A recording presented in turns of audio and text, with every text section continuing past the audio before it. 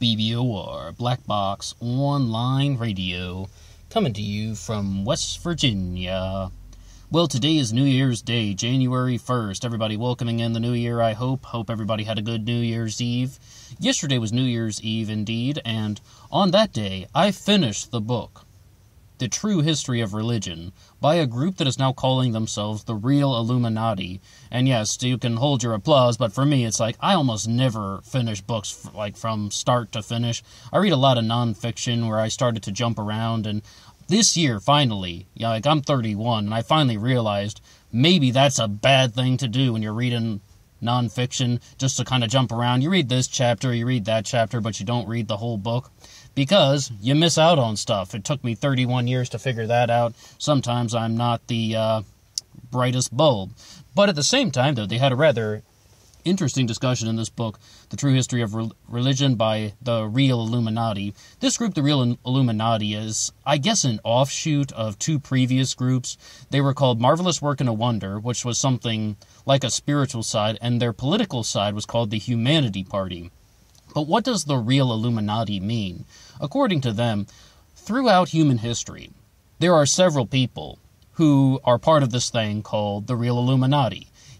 It is so much larger than a society in Bavaria in the 1800s, and it's so much different. It's, it's very different compared to the things about how there's this Illuminati that is running the government and running the music industry and making your consumer choices for you.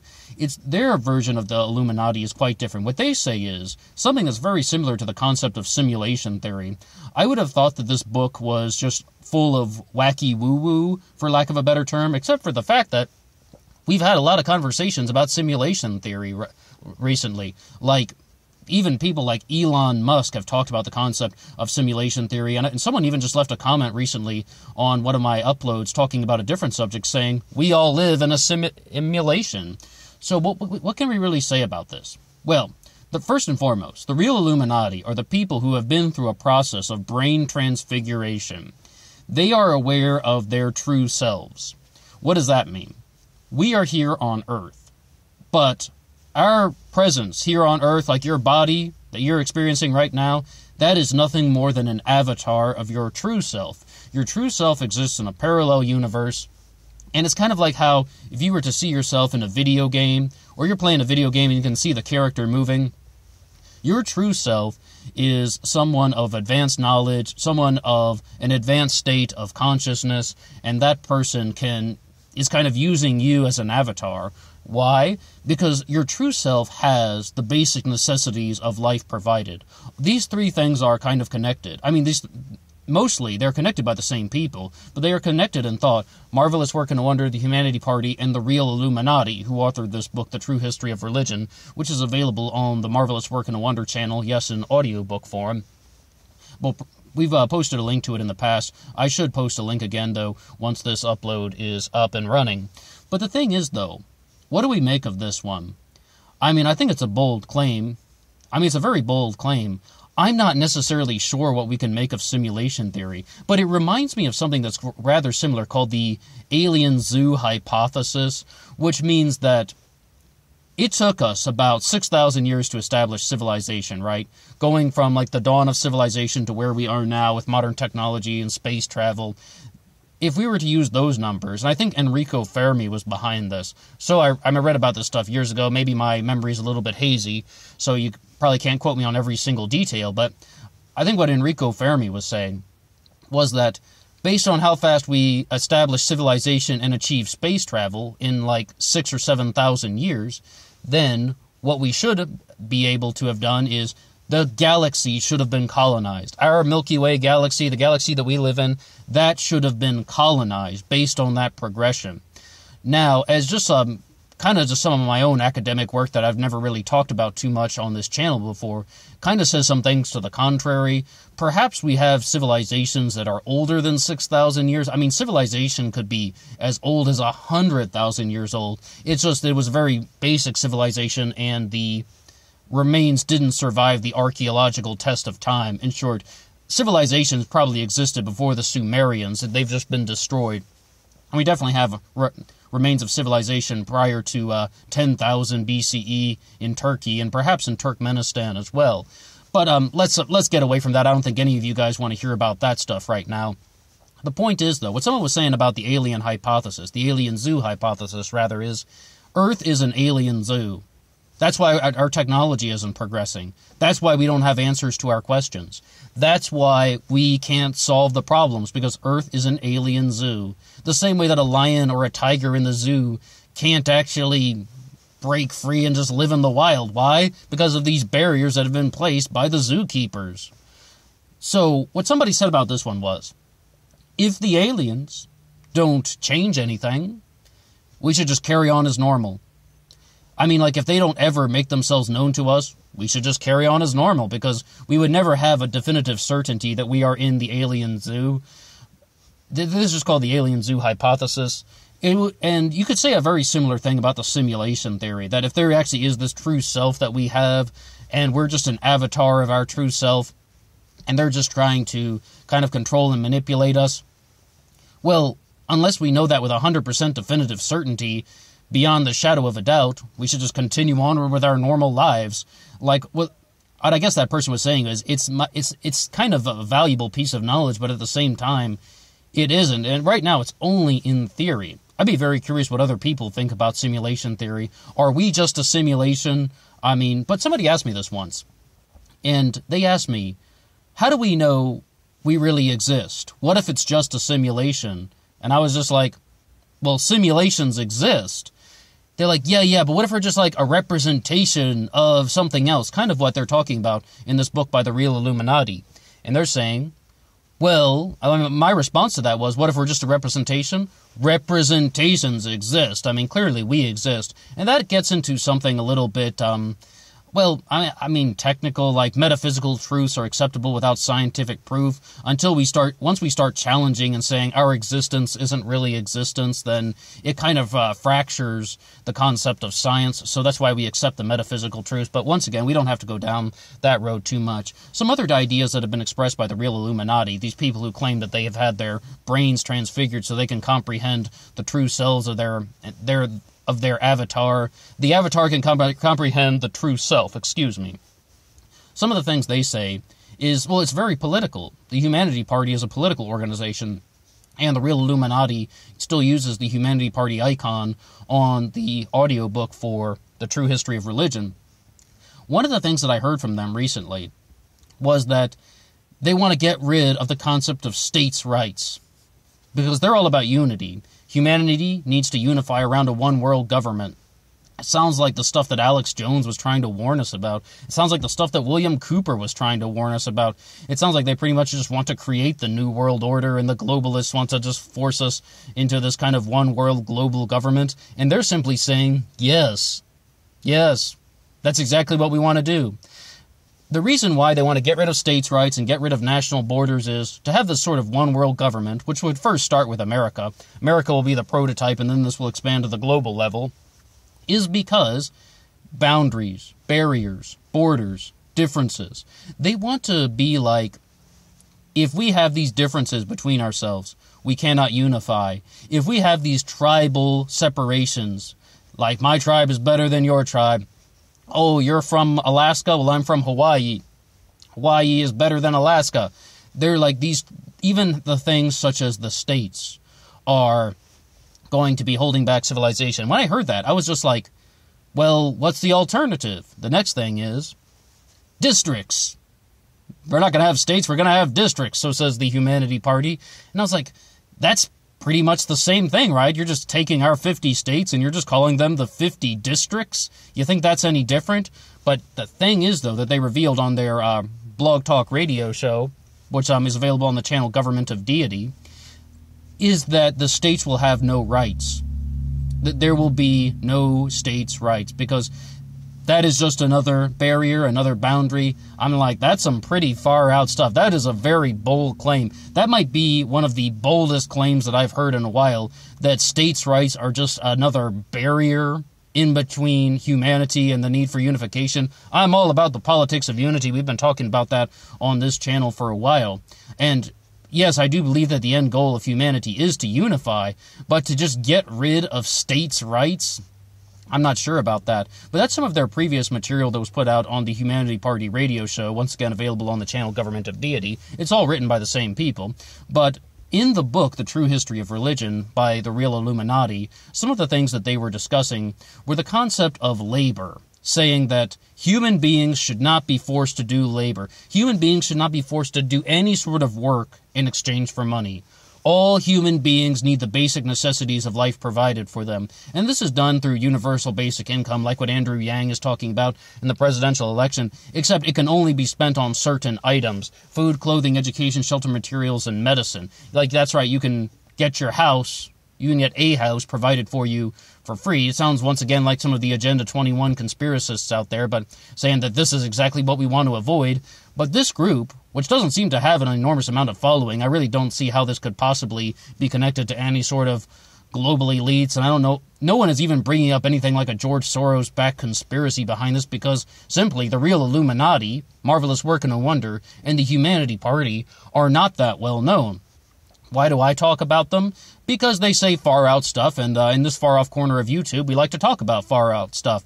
And in all reality, I mean, they do make some interesting criticisms of UBI. They were the Humanity Party was the first group to say you cannot give people a cash universal basic income the way that Andrew Yang is talking about. People will just use it to buy drugs. We already have the opioid crisis going out of control, and the reason why is Here's an interesting claim that does come from them as well. The United States Constitution was meant to foster power for the global elites. The United States Constitution was meant to foster power for the oligarchs. The United States Constitution benefited the rich man, not the poor man. The poor man wasn't even really counted as the same value as a rich man, let alone that black people were three fifths of a human being, women didn't have the right to vote. And I heard something that um, recently that Native Americans didn't get the right to vote until 1924, or they didn't get citizenship until 1924. I was watching that on the Smithsonian Channel. Okay, so when you have things like that going on, they're just like the United States Constitution benefited the concept of oligarchy and allowed the concept of oligarchy to propagate. But um, people like William Cooper would have had a lot to say about that. What uh, William Cooper was really like, the way the Constitution is written is people can always adapt to the contemporary time. You can go through the process of amendment. You can even use the Constitution to call for a new constitutional convention that would benefit the people. Also, things like Article 4, Section 3, where new states can be created out of other states, so then you can have your state government designed more to the needs of the people, like my own state of West Virginia was back in 1863. Although that is almost never done, I mean, we have to admit, but that's what a lot of the movements that are going on in the country, like the state of Jefferson, perhaps Baja, Arizona, El Norte, and the southern border of Texas, they're talking about becoming new states, want, and they want to use Article 4, Section 3. But the thing is, though, what they're saying is the Humanity Party and the real Illuminati are saying that no one should be forced to do work you should get the basic necessities of life provided to you. And we will never achieve peace in the world as long as people are forced to work. It's not about being against capitalism. But I mean, this is a thing, though, that I really kind of take exception with their book is on the one hand, they're saying that capitalism is not evil. On the other hand, they are saying that we will never get peace in the world as long as capitalism exists. So I'm just kind of like, well, which one is it, guys? I'm and yes, I am drawing upon some of their prior material outside of this book, but at the same time, if it's written by the same people, it's like, well, what's your ideology? I mean, what's your political philosophy? What is your stance on this thing? If you're saying, it's kind of like you guys are talking out of both sides of your mouths when it comes to capitalism. However, though, there's a big thing that we got to say, though, about universal basic income in general. At first, it was like music to my ears that somebody like Andrew Yang was talking about new capitalism. He's like, we don't need to go towards socialism. Let's just reinvent capitalism in a different way. The Humanity Party and the real Illuminati say something very similar when they're like, we don't want socialism, we don't want the redistribution of wealth, we want more wealth for more people.